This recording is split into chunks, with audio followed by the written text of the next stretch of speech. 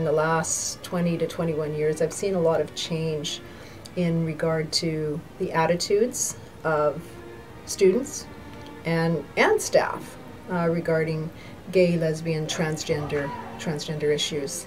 My heart swells with pride when I think about Pat and the struggles that he's faced and, and some of the unkind remarks that he's endured from people. I believe grade seven in my intermediate school, my best friend, he wouldn't want anything to do with me. He told people to not tell me where he lived. He told people that I was that gay kid. I wasn't his best friend anymore. He completely left me, and I had a giant void in myself for having a best friend.